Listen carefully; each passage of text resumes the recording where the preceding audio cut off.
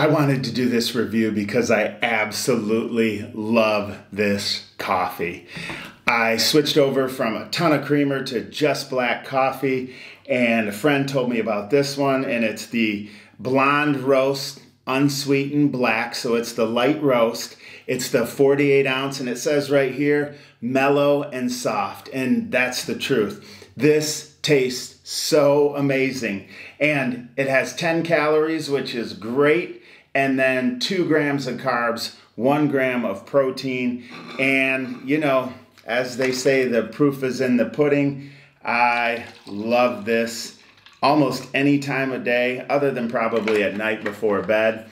Uh, but yes, you can keep it refrigerated. I did read a little closer on the label, and if you don't have enough room in your fridge because you maybe bought a bunch of them, uh, then you can keep them outside of the fridge until you put them in. And then it says once you open them that they recommend that you drink it within seven days.